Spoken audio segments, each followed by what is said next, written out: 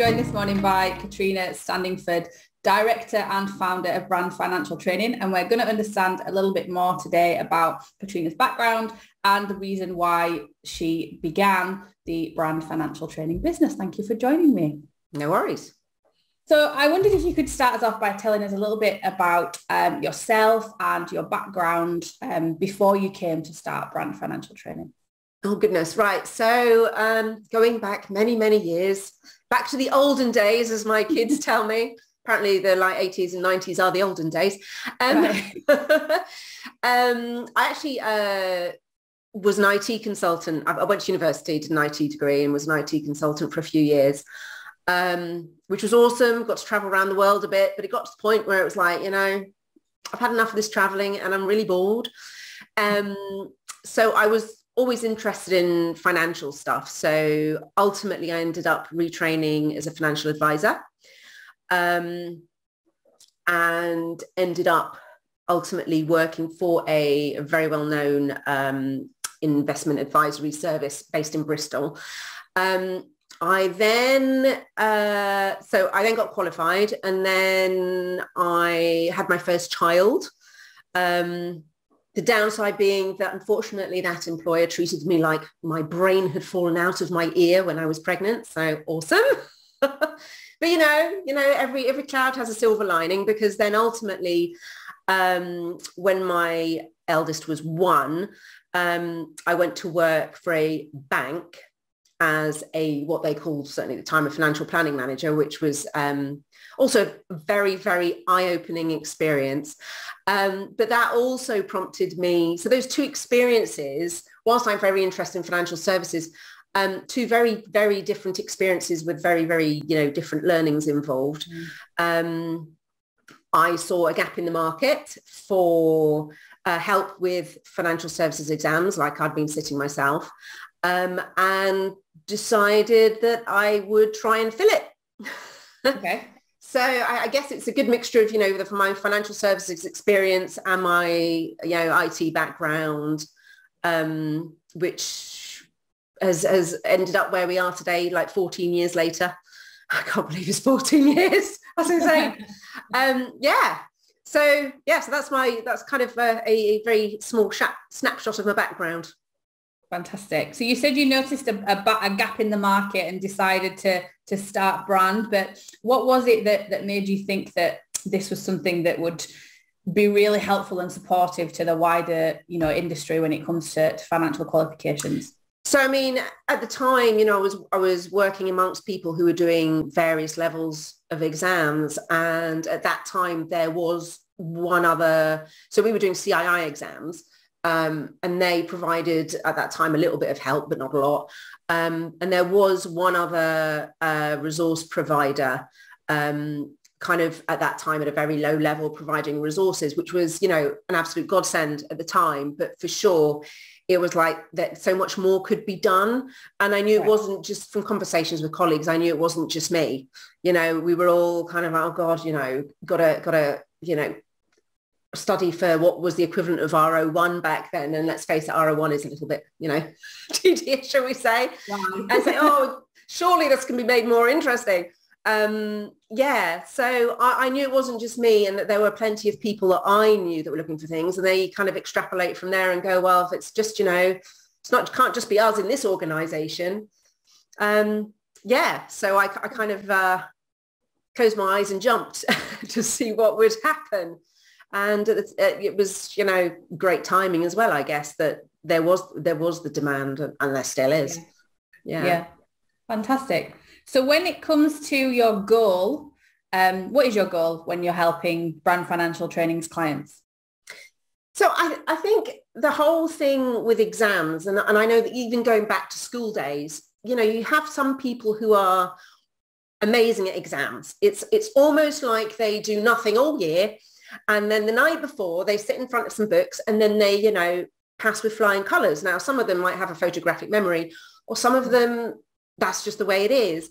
And then you get some people who absolutely have a solid knowledge and understanding of the subject, but they just get into the exam room or in front of the computer or whatever it is these days, and they freak out. And you know the, the amount of stress. And so i know that i know that not all exams are exams. Some are actually more coursework based now but most are exams. And personally i think even you know at the very base level they are actually unfair because some people are better at exams than others. And it it doesn't mean you know if you're pass with flying colors everything it doesn't actually mean you're a fantastic advisor or whatever your job is. Also doesn't right. mean you're not fantastic because you might be. but then you also get people who have struggled to pass exams with years and years and years of solid experience who cl- clearly are, you know, intelligent, good at their job, genuinely know what they're doing. Um, but they just struggle with the exams or they struggle with for example, R02, you have, you know, you have to understand all these complex formulae and have them in your head. And, you know, you can definitely argue, well, really, do you really need all those in, in your head? Well, for the exam you do, but in, in, you know, do you from day to day? So, you know, instead of, I, I can't, you know, wave a magic wand and make the whole system fairer in that way, but we can do what we can to help people through the exams, which is why at Brand Financial Training, we provide a wide range of resources for exams so that, you know, hopefully there's at least one, if not more resources that suits yeah. different people. So, you know, some people love listening to things. So we have audio masterclasses. Some people hate that, you know, some people actually do like to read, a, you know, a, a study text and that's cool. And so, you know, we have revision notes for that kind of thing. So yeah, my goal really is to make make it as easy as possible to get through through uh, the various exams that there are. Brilliant. I know I've appreciated your learning material for a long time. Uh, can I ask, what do you, you might have already answered this, but what do you think makes brand financial training different compared to other resource providers out there? Um, so, I mean, there are quite, a, in the past couple of years, since the, you know, pandemic in 2020, um, there have been more noticeably people providing learning resources uh, for exams and CII exams in particular. Um, I think what makes us different is, well, first of all, we've been around for 14 years. Um, we were one of the first in that space. Now, that doesn't make us, that doesn't automatically say, oh, you've been around forever, therefore you must be the best. Nobody should ever think that. Mm-hmm. But of course we are. but, quickly say that. But um, obviously, we do have that 14 years worth of experience. We do have 14 years worth of making some mistakes and, you know, and improving on things. Um, mm. you know, some of our, you know, we started out just doing mock papers, which we built on over, you know, some of the exams, they've been around 14 years. So, you know, we've built on them. Um, we've also, you know, we've got people on the team who've been with us for a long, long time as well. So, um, and some that are very new too. So we're getting the new ideas in, but we've also got the experience. And I think one thing that we have seen is that there seem sometimes there's a belief that you can just throw together a resource, whether it's a mock paper or revision notes or something, you know, you literally can just throw them together. That'll do. People will buy it. Off you go. Now, yes, people might come and buy it, especially if it's seen as cheap, but is it actually a good resource? Or actually are you wasting your money on on something that's not good? And you know there are a wide variety of quality of resources out there. So for us um, we certainly we focus on quality resources. And you know sometimes we get it wrong. And when we do you know we hold our hands up and go sorry guys you know this isn't working right or whatever and then we'll you know we'll change tack or we'll you know we'll change things around we're always listening to what our customers say we're always asking for feedback so that we are doing and providing what our customers need. So we do focus on whether, you know, it's somebody who's writing materials or our customer service team or whatever. It's focused on the customer, not on us being a business trying to sell things, which of course we are. I mean, I'm not pretending we're not, you know, we're not a charity, but it, it's, it's providing quality resources for the customer that genuinely quality resources for the customer and listening to them and I hate to say it, also genuinely caring. Everybody says that these days, don't they? Of course. Everybody says, oh yeah, we really care. Well, do you know what? I think the past 14 years have proven that we actually do. Yeah. So yeah. Very good. So that in mind then, what are your future plans for brand? Interesting. So um, Future plans, uh, we, because we're a small team, we can move quite quickly in terms of, you know, what we provide. And therefore, we, by listening to customers and getting their feedback, our, our plans for the future are to provide what our customers want. So, for example, at the moment, the, the move seems to be more to digital learning. Now, we have always provided downloads for our resources. That's one thing we've done for 14 years now, which, you know, 14 years ago was actually quite relatively new, believe it or not.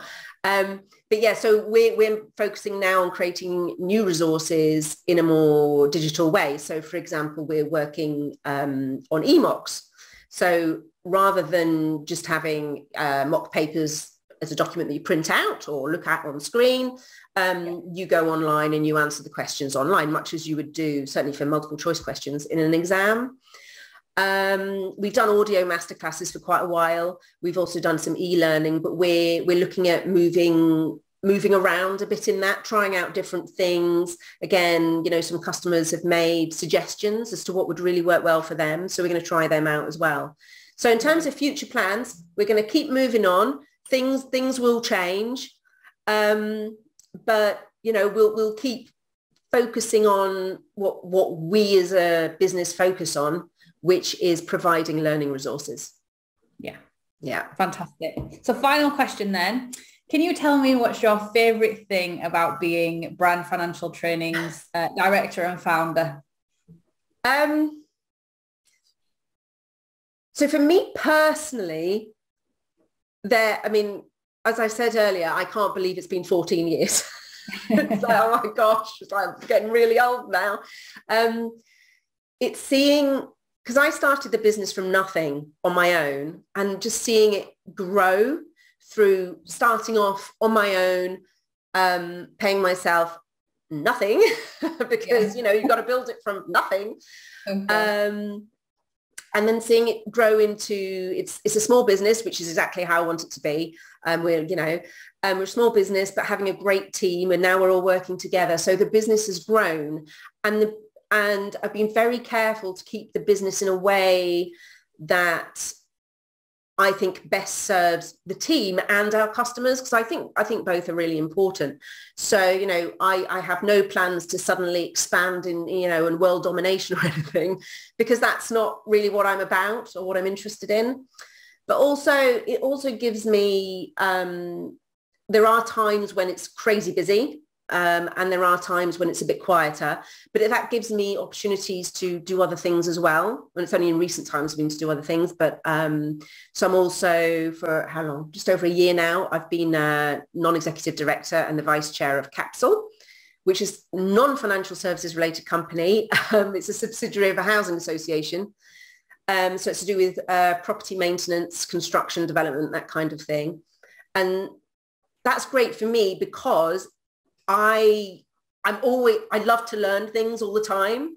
So for me, that was learning a whole new um, kind of area um, whilst also being able to use the skills I've built up in brand financial training, like strategy and all that kind of thing.